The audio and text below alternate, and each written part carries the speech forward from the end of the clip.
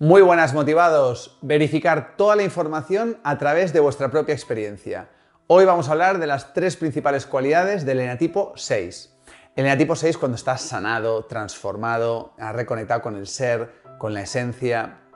de pronto ya no siente ese miedo, esa inseguridad, ese tormento mental, confía en sí mismo, se siente seguro, confía en la vida, se atreve a tomar sus propias decisiones, mata,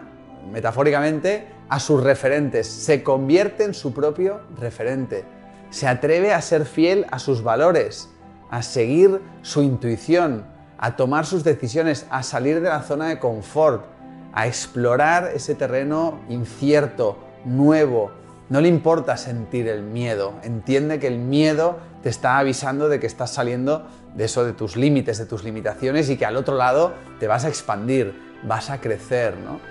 Son personas muy confiables, son personas fieles, leales, que se rigen por valores, tienen una nobleza de espíritu. Para un 6 el fin no justifica los medios, ¿no? Y en definitiva,